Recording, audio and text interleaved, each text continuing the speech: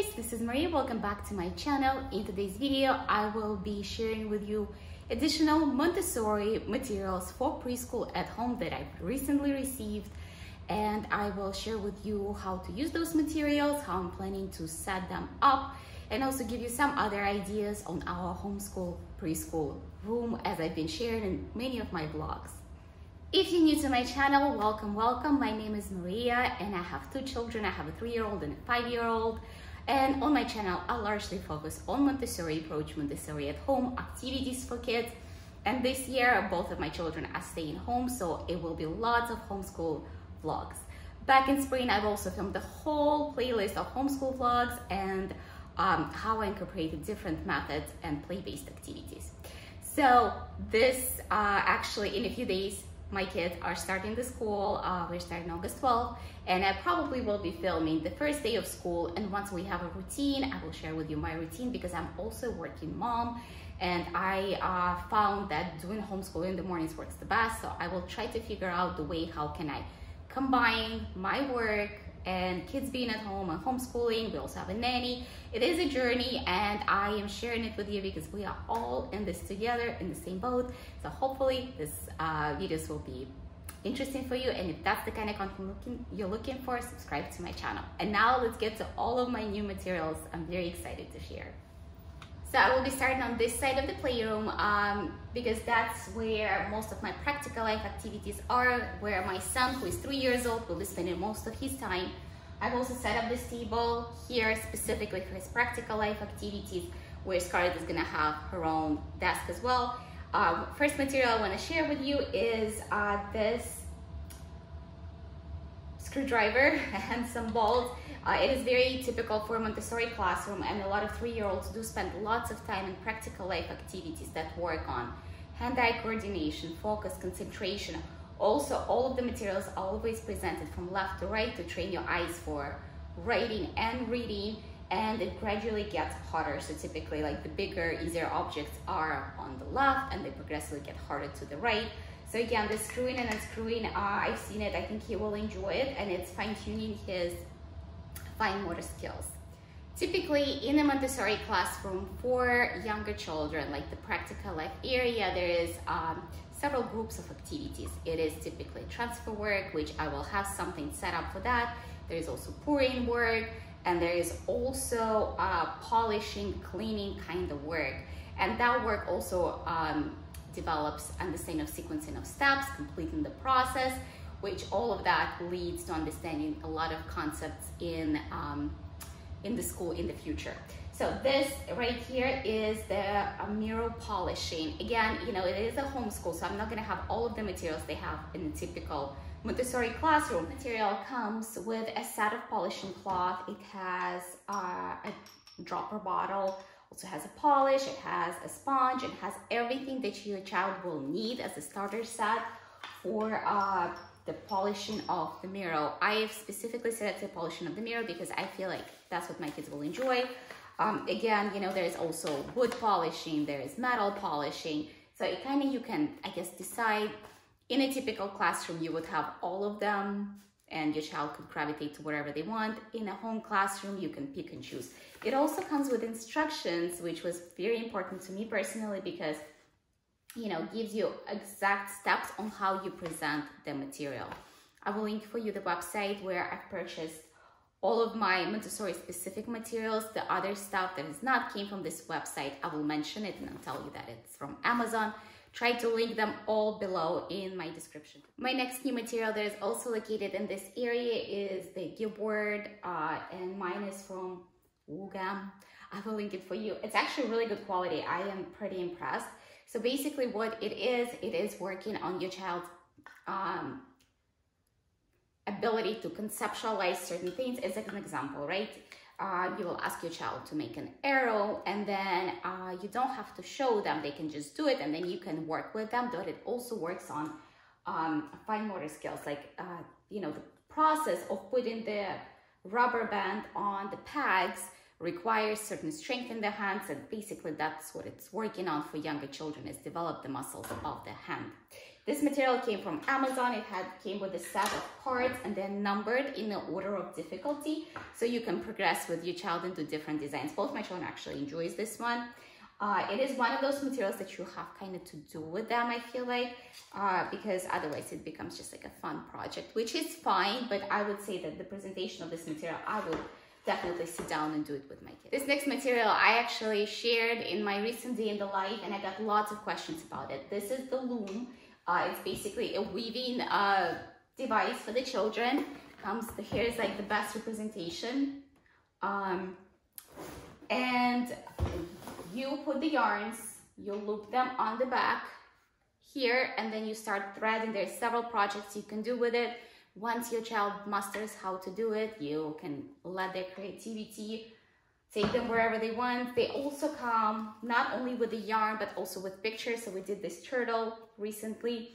So uh, it, it does say four plus, and I will tell you that Justin wasn't really into it. So if you have like a younger children who is not crafty, he is like it's probably more for the children that do enjoy doing crafts. Uh, so my daughter really likes it. She made a blanket for her dolls. She made a purse already. She made this turtle. And it's something that uh, I would say you probably have to do with your kid as well. I felt like I've, um, like every time we sit down it was kind of like us together time, which was really cool and great. But typically you see it's not set up right now. And if we sit down to do something, we kind of finish the project. So we do it all together from start to finish. Uh, again, it's from Melissa and Doug and I purchased it on Amazon. It actually, surprisingly, is very inexpensive. I think it's about $20 uh, for the amount of work and uh, creativity that it has in it. I feel like it's a great price. All right, we're gonna move on to my next area, which is more for my kindergarten age daughter. Uh, and it's lots of like phonetics, um, number works and stuff like that. So on this side of the playroom, I kind of have all kinds of uh, math materials. I have my teen tans board. I have letter recognition, reading material. So all that is here. Uh, and I'm gonna start with this set first. It is Phonetic Box, Phonetic Objects Box 1. And what it is, uh, if you are, are new to Montessori at home, I will tell you, we did this today when I was setting it all up and it was amazing how uh, Montessori method like really understands children. I've always found it fascinating, but actually doing this, it was my first time doing this kind of work with Scarlett and actually Justin because he sat through the whole thing and it was amazing. So basically, it came in a box like this.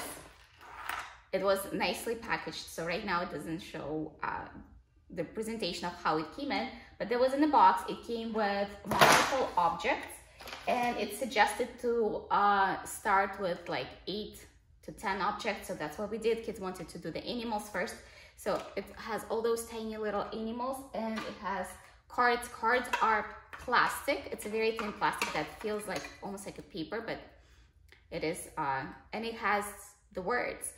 The time for you to introduce this work is when your child understands every single sound, phonetics of the letters. Uh, so they are able to look at this and, and they're starting to read like and say pig and they match the pig. So it's it's that um, you know time when they are uh, starting to read but they're not full on reading yet and that's where Scarlett is. So it's actually timed so so well for us and it has many more objects. So we're doing the animals first. So basically I'm gonna set her up and she's going to match the words by herself to the object. Um, a really fun way for the kids because they love small objects like this kind. And then you know she knows all of her letters all of her letter sounds and she's starting to read and blend the words. So she is uh, that's like such a good time for her to do it. Now it comes with more uh, cards. I actually don't know how many objects are in here but I think it's about 30 so it has a fan and it's all the small like drum pot, pan, mop, hat. So all of those beginning sounds when your child is starting to read that are important are in this box. Again, this was phonetic box one. I've also ordered phonetic box two and let me show you that one as well. Actually, this is how it all comes in. Uh, this is the words. It's you you cut up cut it up. Then it has instructions on how to present it has what is inside the box and has the objects all neatly packaged together and a set of two boxes, one for the cards and one for the objects. Now this one is not out yet. It is, because um, I think it's too early for us. We're gonna finish box one first because this one works on the complex sounds, like for example, fish, uh, or pail, or card. So when you are done blending the simple sounds with the first box, your child is ready for this one. And that's why I'm gonna store this away until we finish up the, the first one. So my next purchase from the same Montessori website was this Miss Rhonda's Readers, eight books for beginning readers. I also have Bob books. If you've been following me, know my blogs. So this is a little different. Um, you know, it's always try good to try different things. They're not as predictable as Bob books, and that's what I like about them. There is set of eight books in here. And let's say this is Sniff Sniff, just an example for you. The rabbit snacks on grass, the fox needs a snack. Sniff, the fox smells a rabbit. So it's repeating the same words and combinations. And then the second one that I've ordered, it also um, Miss Rhonda's cards. It's like a flashcards where you focus here on each sound. For example, here you work on the sound uh, jump, sun, rug, duck, bus, fun. So once you go through all of them, there's obviously difference with the sound O, and then you can start building up sentences with this. One more thing I wanted to share is this book, Manners. Um, I found if you have not uh, seen or heard in my videos about the bucket filler book, I'm gonna plop up the, the video or picture here. It was amazing for Scarlett to understand how to make people feel better and what it makes to what it takes to fill somebody's bucket and how easily you can empty somebody's bucket. So it was written in a very good way of giving children understand of an important concept. So this book I found to be equally as good for manners. We've read it a few times and uh, it just goes over what are manners, what are good manners with very good illustration shows concept and we read the whole thing and Scarlett was really, really impressed. The reason I ordered it is because I want to start implementing it like manners and courtesy is actually part of the Montessori curriculum in the classroom. I have the two children, uh, they're siblings, and when they're at home, they do fight. They do love each other and, you know, we work throughout the differences, but I want them to use the same kind of language they would in the classroom, which obviously homeschool and classroom environment are very different but uh, I'm hoping that this book is gonna help me with that and also set up an expectations. And today, instead of calling somebody behaving poorly or something, we said that that person didn't have good manners and we are striving to have good manners in our household. So I found this to be very useful. Well, this completes my video. I hope you enjoyed it and gave you some ideas. Come back for my homeschooling vlogs that are starting really, really soon. I'll be sharing with you how we do our Montessori works, not only Montessori, also play-based activities I use. Come on, can never say it right. But again, if that's the kind of content you're looking for, subscribe to my channel, click the notifications button, and I will see you later.